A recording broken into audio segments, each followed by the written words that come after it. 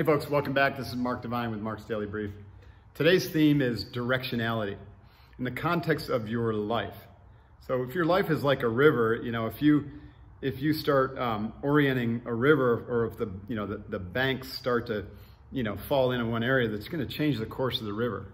Or if there's a heavy rain or you know, you can uh, look at that as a change or crisis or transformation that happens in your life. It could change the course of the direction of the river. Um, so a lot of people kind of go through life with their river being influenced by external events, you know, by the, the winds that, that blow in and change things and push them in one direction or another. So the river of their life, you know, goes in this kind of winding uh, way back to the ocean.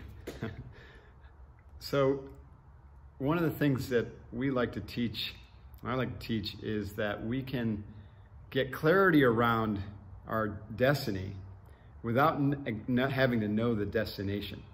Another way to say that is get clear about your vision.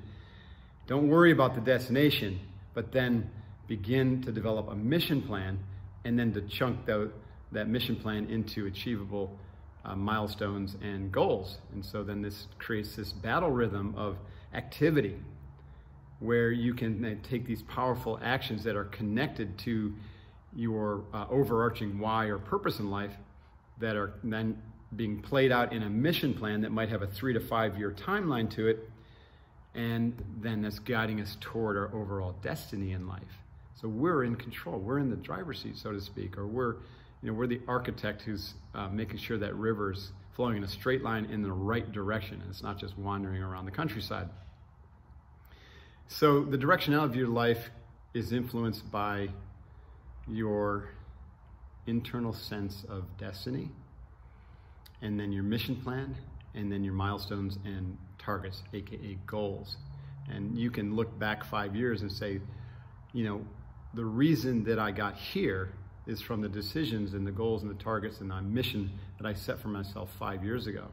And if you didn't have a mission and goals and targets, then maybe you're exactly where you need to be to learn the lesson that it's really important to have a destiny defined and to understand your mission targets and goals. So now consider where you want to be in five years and you can start architecting the flow of your, the river of your life. Hooyah. See you next time.